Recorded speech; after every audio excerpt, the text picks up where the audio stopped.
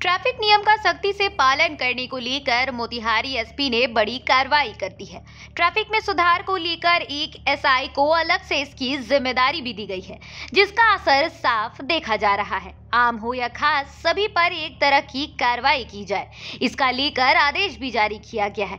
इसी दौरान बिना हेलमेट के ट्रिपल लोडिंग जा रहे तीन कांस्टेबल का भी चलान काटा गया है। एक वीडियो सोशल मीडिया पर सामने आया। जिसमें देखा जा सकता था कि राजा बाज़ार के पास एक बाइक सवार तीन कांस्टेबल सफ़र कर रहे हैं, जिसके बाद बाइक सवार कांस्टेबल को दो हज़ार रुपए का चलान काट दिया गया है। बता दें, ये पूरा मामला बलुआ चौक का बताया जा रहा है, जहाँ ट्रिपल लोडिंग में अपाची बाइक पर पुलिस वाले सवार थे और ट्रैफ़िक के नियमों की धज्जी उड़ाकर बेसुध होकर बिना हेलमेट के तीनों घूमते दिखाई दे रहे बता दें कि इस वायरल वीडियो में तीन पुलिस वाले एक अपाची बाइक पर सवार थे। वायरल वीडियो की पुष्टि कर ट्रैफ़िक सर्जेंट आदित्य प्रकाश ने दो हज़ार रुपए का चलान भी काट दिया है।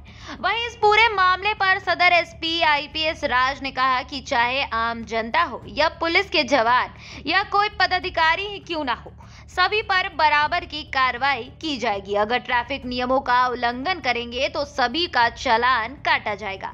शहरवासियों से अपील है कि ट्रैफ़िक नियम का पालन करें। अगर आप उसका अनुपाल करेंगे तो शहर की ट्रैफ़िक व्यवस्था सुधर जाएगी और आप भी सुरक्षित रहेंगे। लेकिन इन सब मामलों के बीच जो वीडियो सामने आया है, इससे साफ़ तौर पर एक सवाल उठता नज़र आ रहा है कि जब कानून के रखवाले ही अंधे हो जाए, जब कानून के रखवाले ही कानून की नियमों का पालन नहीं करे तो फिर आम आदमी क्या करेगा? दर्श न्यूज़ के लिए मोतिहारी से प्रशांत कुमार की रिपोर्ट।